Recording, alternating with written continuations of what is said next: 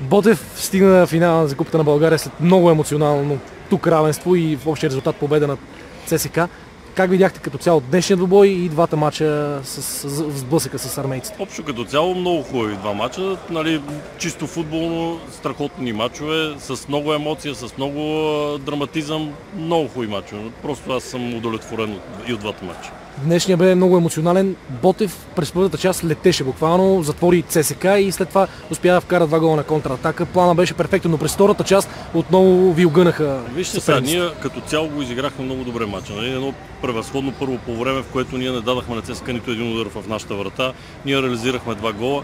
Наистина, второто по време ЦСКА се дигна, се умя да стигне до, до, до обрат, а, така с влияние тук таме на, на съдята и така нататък, но това няма значение. С, както и да е, ЦСКА стигна до някакъв обрат, ние успяхме в последната минута да се дигнем и да, да, да вкараме гол. Това е. Видяхте ли ги положението за червените картони? Особено на Филип втория не, не, беше. Да, да ви кажа, честно, не искам и да, да ги гледам. Матчът е свършил, ние сме на финал.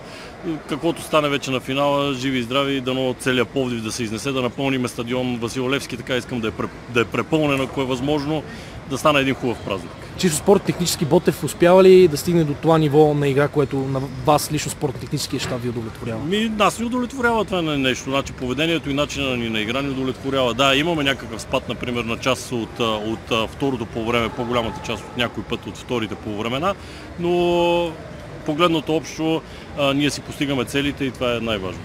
Последно за финала, какво очаквате и какъв ще бъде за вас този матч? Все пак ами... от няколко месеца сте Ботев, но срещу големия съперник ще се решава титла. Реално. Носители на купата на, на България сме ние.